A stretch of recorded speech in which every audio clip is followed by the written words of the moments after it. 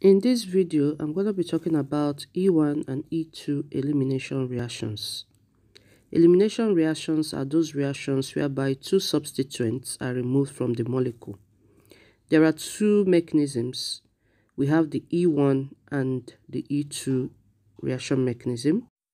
In E1 reactions, two steps are involved and these reactions are favored by weak bases like water and alcohol. In E2 reactions, what you have is just a one-step reaction mechanism and these reactions are favored by strong bases and aprotic solvents.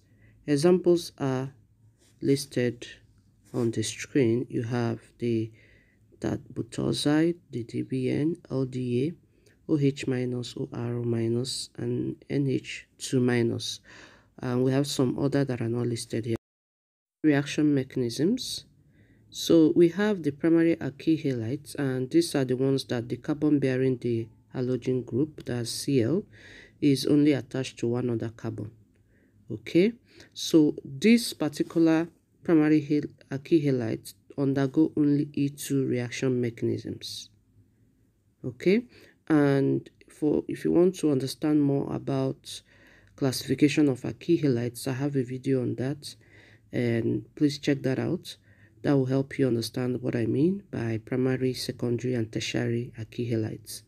Now, for stability of carbocation, it increases from primary to tertiary carbocation. So what we have here, um, we have the primary alkyl halide, we have the secondary alkyl halide, and we have the tertiary alkyl halide. So when the chlorines here are lost, the carbocation is formed in its place. The stability increases from primary to tertiary. Okay. In this example, we are asked to draw or write the reaction mechanism for this particular equation. And here, before you can proceed, you need to be sure of which of the mechanism you are using. Will it be the E1? Will it be the E2 reaction mechanism? Now we'll look at the base that was given. Here it is water and I mentioned earlier that water favors E1 reaction.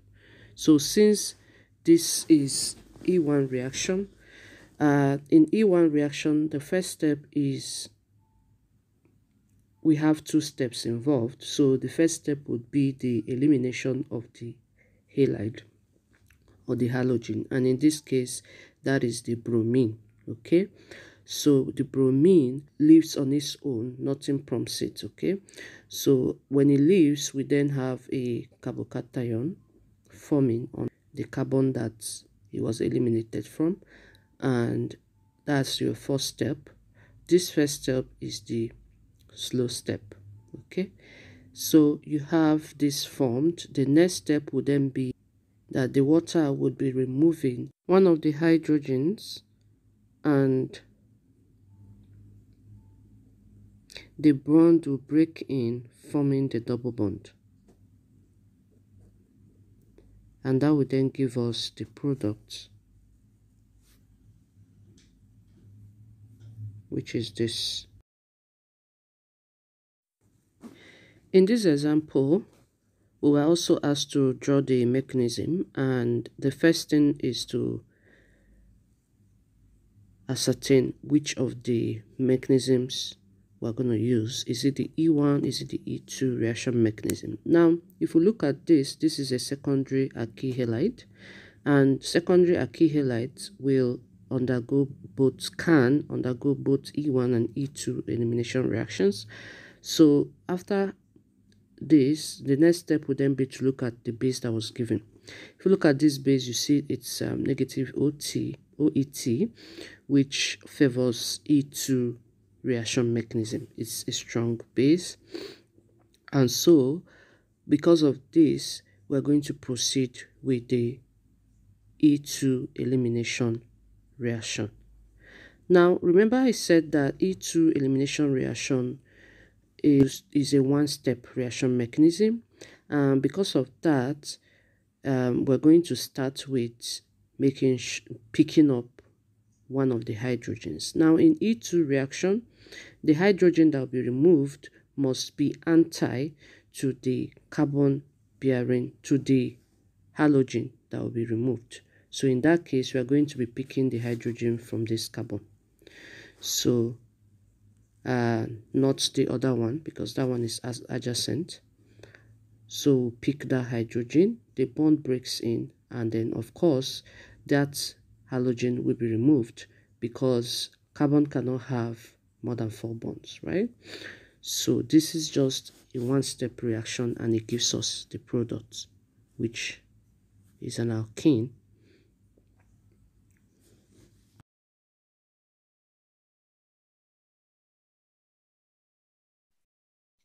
All right, for this one, to we are asked to draw the mechanism, you have to figure out what type of mechanism to use.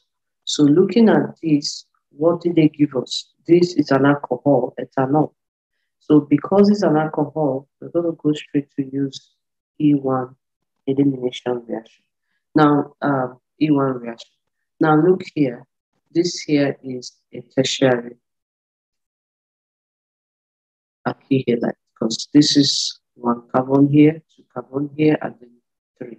Okay, so it's attached to three things uh, three carbons, and that makes it tertiary alkyl. So it can undergo both E1, E2 reaction. But this is what made us choose the E1 because this is alcohol, and alcohol and water favors E1 reaction. So we go ahead and do E1, and E1 starts with the chlorine breaking off. And this is what we're going to have. And of course with a carbocation in place of where the chlorine was originally. Okay.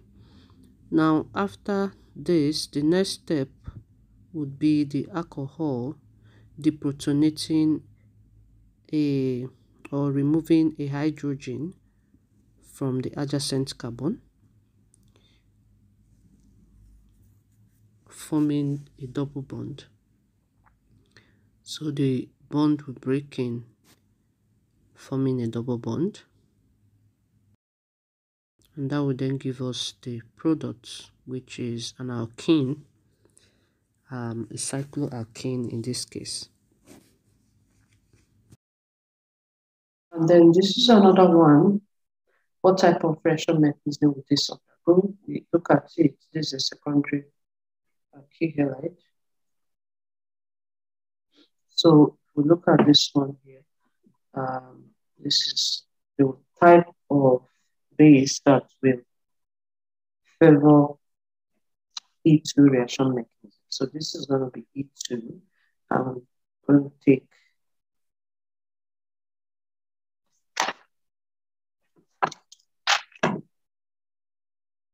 Okay, and remember that the the hydrogen has to come from the opposite side.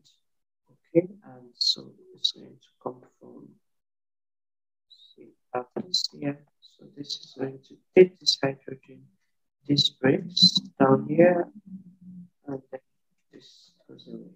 So we're going to have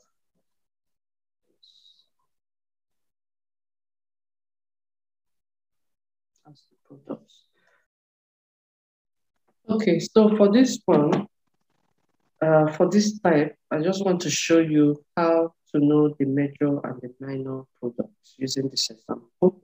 So here, of course, because it's water is E1 reaction, right? And this breaks up, give us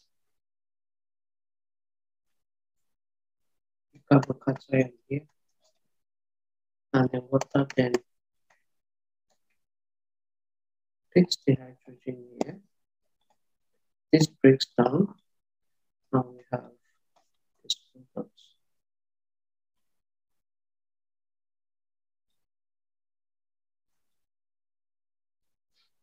Now, this could have also come from here. Okay. The hydrogen could have also come from here.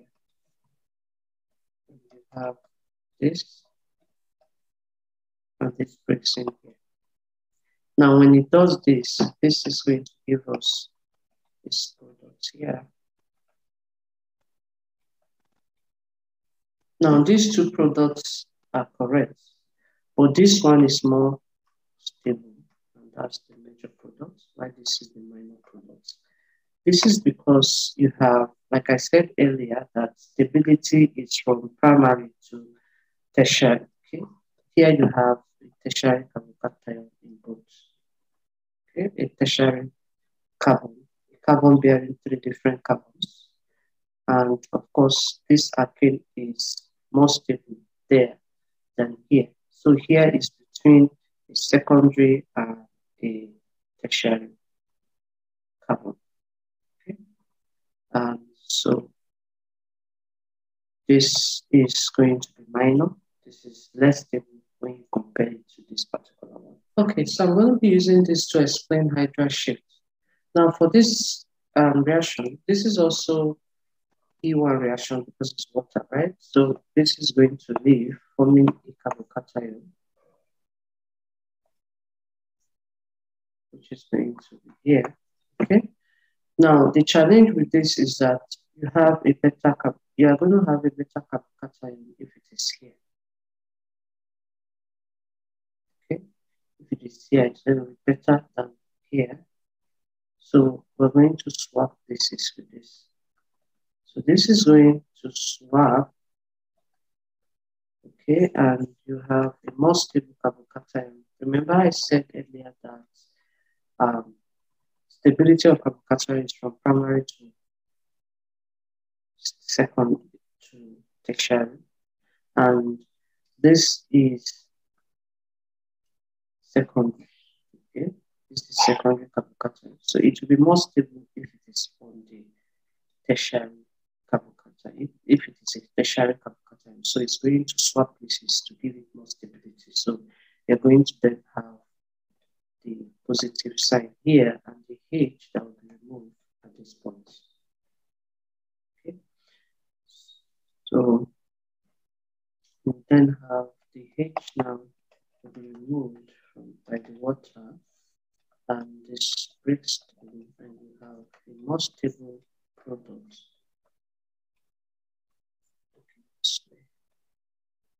Okay. So this is your major products.